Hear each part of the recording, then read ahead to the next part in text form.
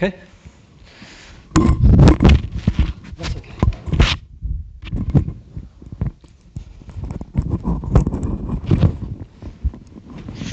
All right.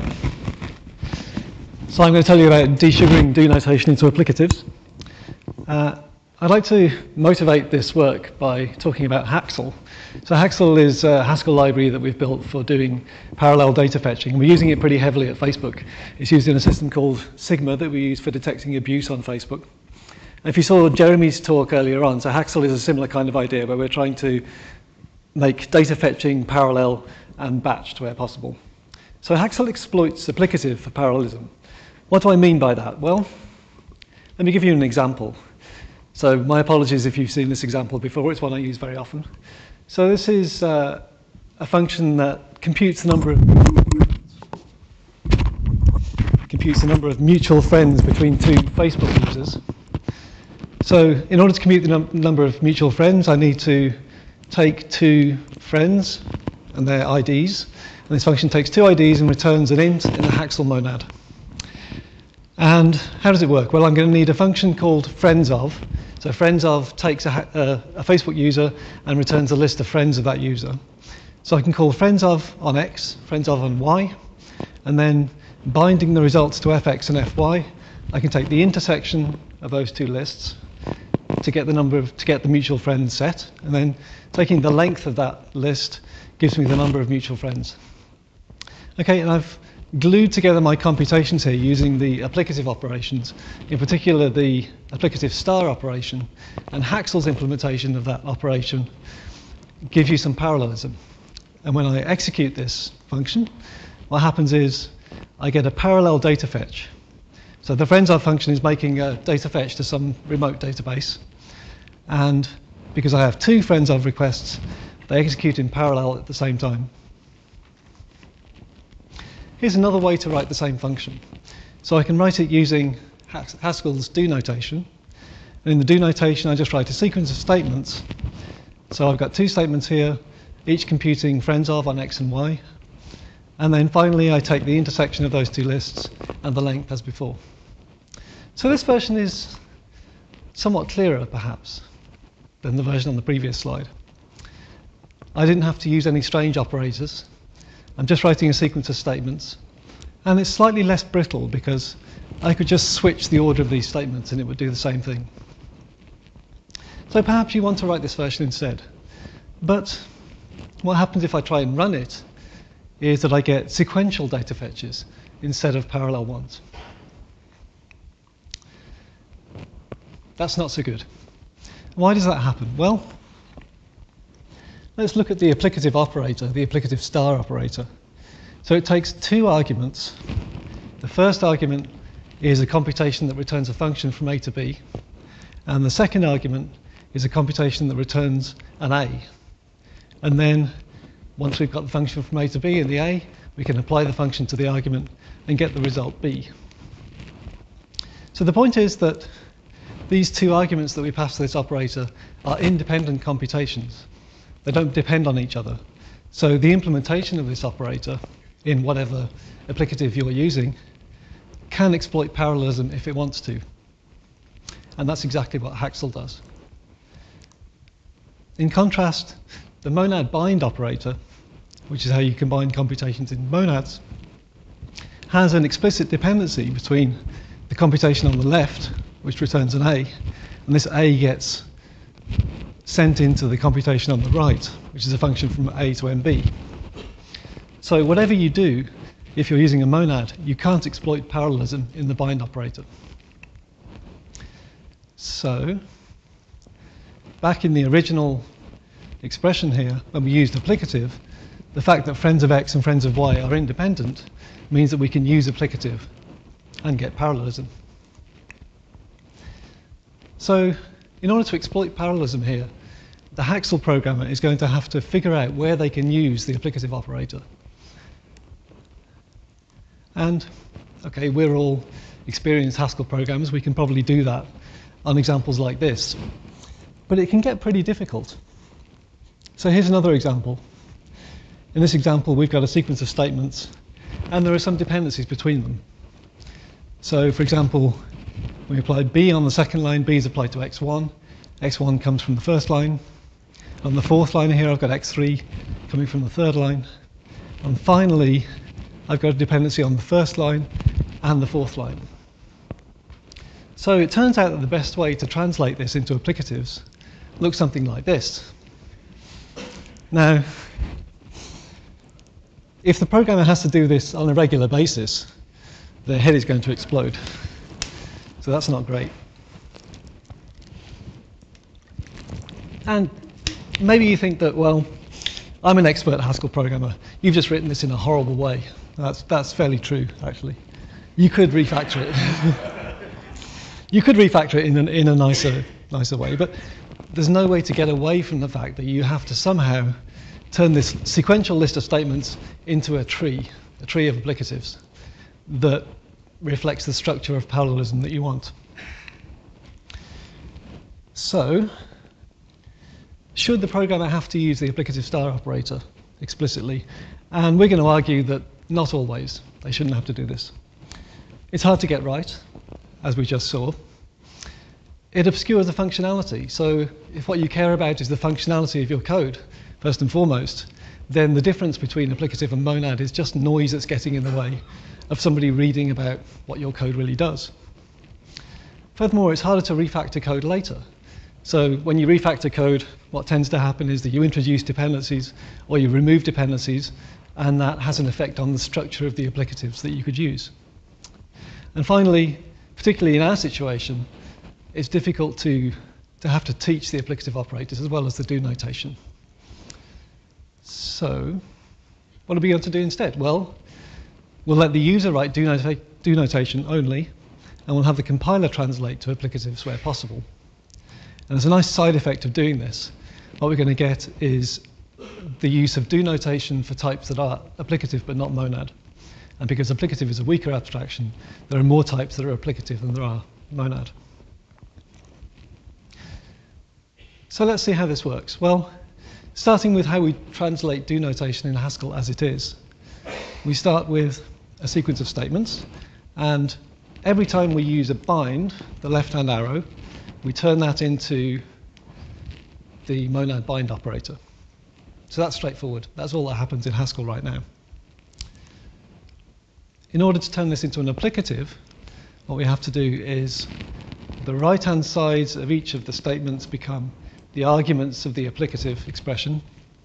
And then finally, we need to bind the variables that we got from the left-hand sides of the expressions here, of the statement, sorry. And the expression that was being returned goes on the left-hand side of the applicative expression. So that works fine when there are no dependencies between the statements. But what happens if we have a dependency, and here I've used the syntax to indicate that B has a dependency on the result of A. In this case, we can't use applicative star. So what we have to do is fall back to the ordinary monad desugaring and use bind instead. So let's look at a slightly more complicated example. So in this example, I've got a pair of statements A and B that don't depend on each other. And then I've got a pair of statements C and D that depend on the results of A and B respectively. And I'm going to use this syntax down here to indicate the structure of parallelism that we can expect. So this says that I can do A and B in, in parallel, followed by, so the semicolon means sequentially, followed by C and D in parallel. So this is just a more concise way of expressing the structure.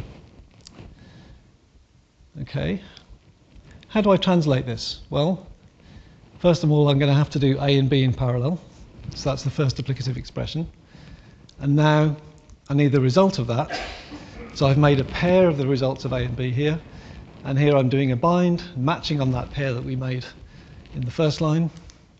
And then finally, I can do C and D in parallel and make a pair of the results. Okay, let's look at the dependency graph of what we've done here. So here's the graph, we've got A and B in parallel. We made a pair of the results, then we did C and D in parallel and made a pair of those results. But there's something a bit strange going on here. So what's this node in the middle where we made a pair? It seems a bit strange because it doesn't appear anywhere in the original do expression. In fact, the only dependencies we had were a dependency from C on A and D on B. So maybe what we should do is use this graph instead. So in this graph, we've got dependencies on from A to C and B to D.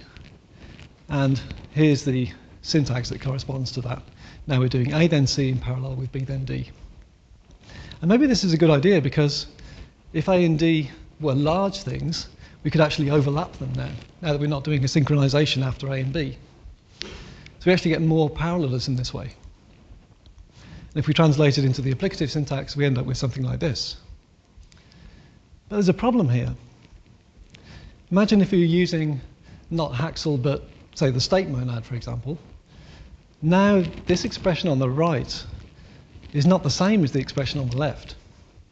Because when you flatten it out, the effects happen in the order A, C, B, D instead of A, B, C, D. So we made a translation that's not semantically equivalent to the original. So there's a design decision here. We can either reorder statements or not. And reordering exposes more parallelism, but it's only valid if the monad is commutative. And without reordering, it's valid for all law-abiding monads. By law-abiding, I mean the laws that apply to applicatives and monads. So in our case, we chose not to allow reordering. And part of the motivation for that was that Haskell is not commutative because we have exceptions. And it also means that we can just apply our transformation to all the existing Haskell code, uh, and provided it satisfies the laws, it won't break anything. But going back to this example, we can do something a little bit better than what we had. So there's this pair in the middle here, and we'd like not to have to build this extra pair. So in order to do that, we're going to have to move this expression, the C and D in parallel, into the left-hand side of the first applicative expression. But if we move that inside, what happens is we've now got a nested computation, a computation that returns another computation. In order to flatten that nesting out, we're going to need to use the join operator. So join takes an M of M of A and flattens out those computations. So our algorithm works in two phases. First of all, we do something called rearrangement. So rearrangement groups the statements into parallel blocks. And we're going to use the vertical bar as a way to indicate the boundary between blocks. And finally, we'll do desugaring. So desugaring is a purely mechanical uh, process that takes the rearranged expression and turns it back into Haskell syntax using applicatives and monads. So here's an example of rearrangement. Let's take this sequence here. So we have A and then B that depends on A and C that doesn't depend on anything. So we drop the return statement, first of all, and we split the sequence at points where there are no crossing dependencies. So where there are no dependencies on a statement below the line, on a statement above the line. And this red line here indicates where we can split the sequence here. And now the two blocks the, the ones that are on either side of the line uh, become separate blocks in our composition separated by vertical bars here. If there are no split points, what do we do? Well, here's an example where we have a statement A and then B and C both depend on the result of A. So there's nowhere that has no dependencies crossing here, so we have to find somewhere that we can insert a semicolon. Okay, let's Suppose we insert the semicolon after A. So we have a block containing just A. And then, if we recursively rearrange the other block, we find that we can do B and C in parallel. So rearrangement propagates recursively down the tree. But how did we know where to, where to insert semicolon? Well, we could just try all the possibilities and see what happens find the best one. But we have to know what the best one is somehow. So what do we mean by best? Well, we're trying to maximize parallelism. So let's just use a simple parallel cost model where we use maximum when we have parallel, and we just use sum when we've got sequential. And since we don't know anything about an individual statement, we'll just say all statements have the same cost, 1. All right, uh, so then we get to desugaring. And desugaring takes these the parallel blocks, turns the parallel block into an applicative, as you might expect. And here's where the return comes back. So the return goes in the left-hand side of the applicative. And finally, we recursively desugar things. When we have a semicolon, that turns into bind. And that's it. You can find the details of this in the paper. So what about optimality and efficiency? Well, we prove that our algorithm respects the optimality of the simple cost model. And implementing this algorithm is n cubed if you use dynamic programming. Although in practice what we found is that it's much faster than that. So if you have applicative only, a type that's applicative only, then you can use the do syntax as long as you have no dependencies between the statements. When there are no dependencies between the statements, we can guarantee to produce an applicative expression. And then the type of this will only have an applicative constraint. It won't have a monad constraint. So there's a very simple rule that says when you can use the do notation with an applicative, it's just there are no dependencies between the statements. So we did an implementation of this. It's in GHC 801. Uh, it's optional because you have to say to GHC that I don't mind you exploiting the laws uh, because you know, nothing else is forcing you to, uh, to write applicatives that satisfy the laws. So it's an optional feature. And we use an, a heuristic algorithm by default. So our heuristic algorithm is n squared. But optionally, you can request the optimal algorithm if you want to. And our heuristic algorithm was optimal in 98% of cases. That's 98% of do expressions gave the same answer in both cases. Maybe you're wondering how often it applies. Well, we tried it on lots of code. We found 1,000 odd packages in uh, Stackage, which had 38,000 do expressions in there. And 42% of them had some, some instance of parallelism, right? somewhere that we could use the applicative operation. And in fact, 28% of them didn't require monad at all. So we could have used a weaker type, uh, an applicative constraint on those. We also looked at the Haxl code base at Facebook, which also has a lot of do expressions. And interestingly, we found a similar proportion of those do expressions that didn't require monad at all.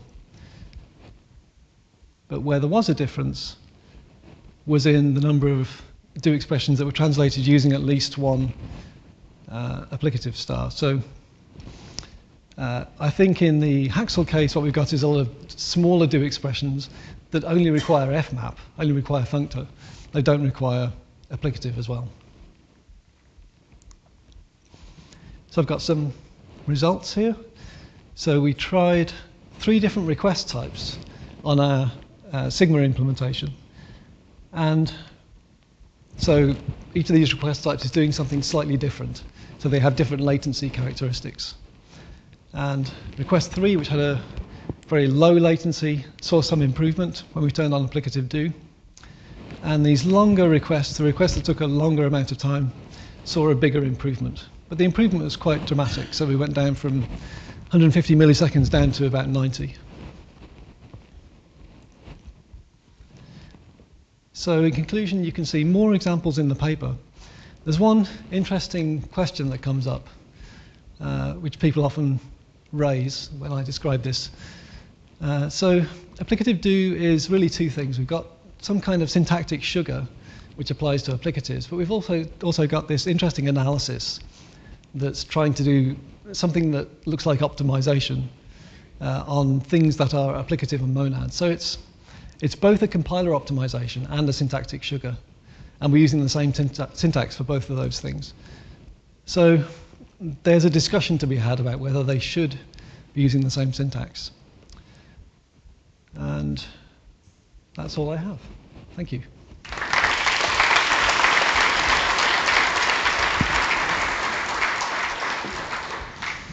Thanks, Simon. Any questions? Thanks, Simon. Um, you said uh, the heuristic algorithm. Sorry, I'm here. Uh, it, you said the heuristic algorithm uh, is successful in 98% of the cases. I'd be interested to know what those 2% look like. Uh, well, you saw one example near the start of the talk, actually. So that, that complicated example was one case where a heuristic algorithm doesn't find the optimal solution. Um, there are many different heuristics that you could choose. We chose one particular one. The one that we chose biases towards parallelism at the beginning of the block. And you can easily defeat it if you know that's what it's doing. Um, so.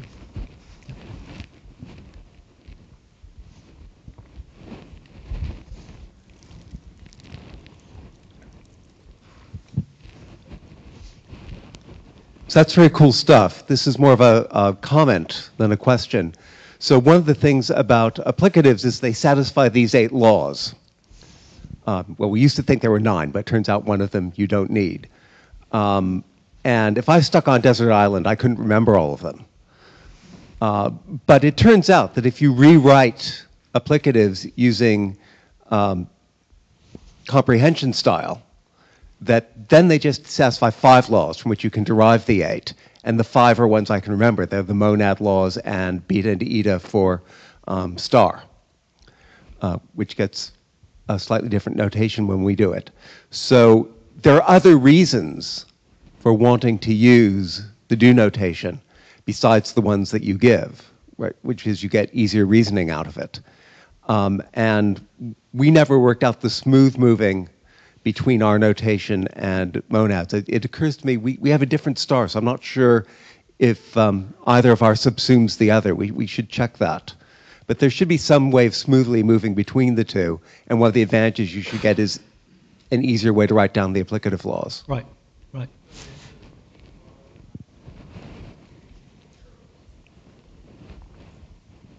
Oh, yes, so I am. You're right. I'm thinking of arrows rather than applicative, so Aha, right. Good point. Does that render the entire intervention moot? Possibly, but we should but I could, I could mention extending one. it to arrows. ah. Uh, so since you mentioned uh, comprehensions, I, um, uh, I should mention one thing which is nice about comprehensions is that they enforce the return at the end. Okay, so you don't have to write return explicitly, whereas in do notation you do write the return. And one, you know, slightly uh, unpleasant thing about our translation is that it has to recognize return in, in the final position, which is not the case for a comprehension. Hi, Jeremy Gibbons from Oxford. Very nice, uh, uh, as you as I know. Um, th this cost optimization you do, you, you you just take the very simple assumption that everything costs one, every basic thing costs one. Right. Um, and uh, so, and I think the, one of the examples you had with the A, B, C, and D um, another strategy is to run the B and C in parallel and actually have three blocks. Uh, and but if they all cost one, that's worse. But if you happen to know that B and C both are expensive, and you, it's yes. good to run them in parallel. Yes. Um, now, of course, you can't work this out. But if perhaps perhaps as a programmer, I'd like to be able to give some hints to say that, that the costs. I, I, expect these things to be expensive. So can you please try running them in parallel?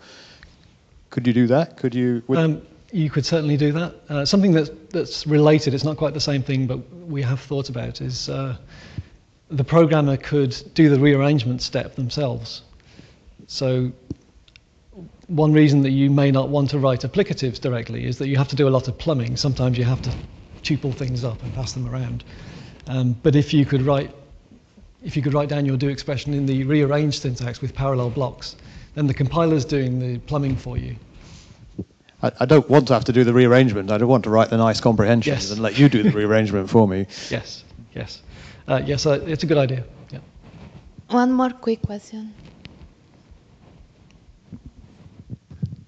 Yeah, so so I guess I originally had a follow-up question to Jeremy, which is if, if you ever find yourself rearranging things, uh, if you're if the assumption of your cost model are not correct, to then make the algorithm produce the output that you want but, but I'm just going to state that question. And, and, but F sharp's answer to that problem is to have like friends of have a different type, right, which is Haxl of Haxl of int, and make the parallelism explicit, uh, wouldn't that be a much easier way to do that problem? I'm, I'm not familiar with F sharp. So essentially, you, you have a fork operation, right? And Oh, so- right, right, right. So, um, yeah, so uh, I think you're asking about whether you could do it in a futures style. Yeah. Yeah. So what are the advantages of that over a future style formulation? Uh, so there's less opportunity to go wrong in this style. Okay. Because in the future style, you, you get to wait for your future too early and lose parallelism. Well, but the waiting is explicit, right? Yes, So yes, but uh, and, and you don't want the waiting to be explicit because you can wait at the wrong place. ah, okay, that actually happens. So yeah, I don't have a guess, great I guess of it does, experience but of, but of, I'm, of F sharp, but I it never seemed particularly difficult to me. Okay, thanks. Yeah. Let's thank Simon again.